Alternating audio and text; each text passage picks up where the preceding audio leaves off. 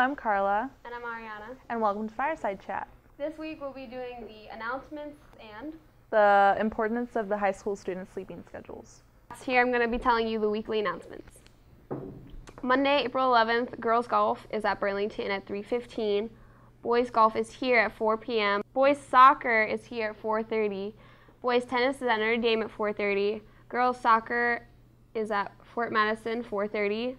School board meeting is 6 p.m. Tuesday, April 12th, we have girls golf is here at 4 p.m. and girls track is at Fort Madison at 4:30 p.m. Wednesday, April 13th, all we have is boys golf at Burlington at 4:30 p.m.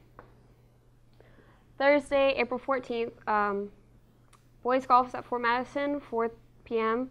Girls soccer is here at 4:30 p.m. Girls tennis is also here at 4:30 p.m. Boys tennis is at Fairfield at 4:30 p.m. Girls track is at Tipton, 4:30 p.m. Boys soccer is at Keokuk, 5 p.m. and boys track is here at 5 p.m. Thursday, April 14th, boys golf is at Fort Madison, 4 o'clock. Girls soccer and girls tennis are both here, 4 p.m. Um, boys tennis is at Fairfield, uh, 4:30. Boys soccer is at Keokuk, 5 p.m. Um, girls track is at Tipton, 4:30, and boys track is here at 5 p.m. Hi, I'm Anna, And I'm Callista.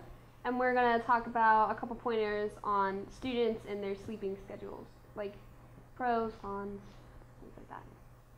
Okay, delayed starts. You're a freshman, so you weren't here for delayed starts, but how do you feel about them? I liked them because we did have them at the middle school, which was always good. But I mean, having the Monday, which was awesome.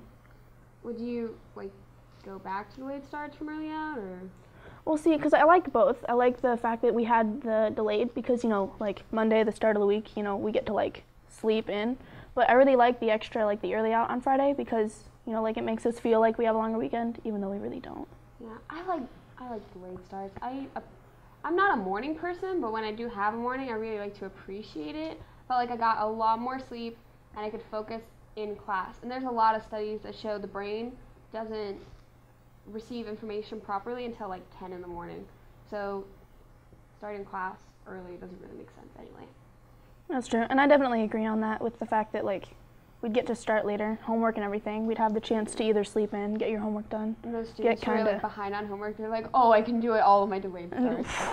I got this, guys. yeah. Nice. like the effects on sleep there's some people who they're probably their like family situation they don't get enough sleep and that can really affect their grades Which I would understand that, just having the full sleep. Because, I mean, like, you have first and second hour, and if you didn't get to sleep until midnight, I mean, you're dead. and when you get like no sleep and you don't get enough sleep it can really affect your attitude towards how you want to learn especially when you don't find anything important and yeah Definitely, especially when you don't get the, like, you're sleeping during class, so you don't pay attention, and that's going to affect every other day after that, leading up to your test. Yeah. All right, so that's it for this week's announcements. Thank you for watching. This is Carla. and ariana So, yeah, have a good weekend, you guys. see you next week Homework. Bathroom? Here it is. Thank you. Oh, aren't you handing back our tests today? Bathroom. Ah!